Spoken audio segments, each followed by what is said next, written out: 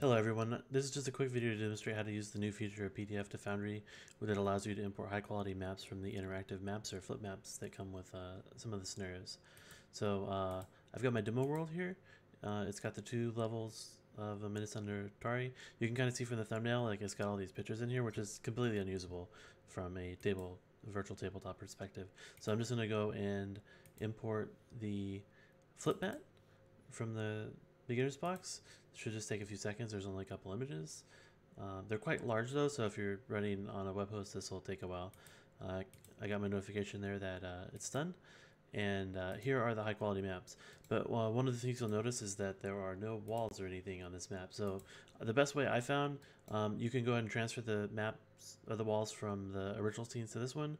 Or the I think easier way is you can go to the configuration page and you're going to copy the scene dimensions here, the height, uh, and these two offset numbers. So um, I'm just going to go ahead and write those down right now.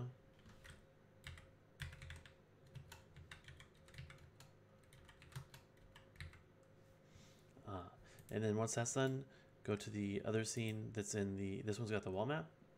So you're just going to go ahead and change that to the high quality map and uh, type in those other numbers.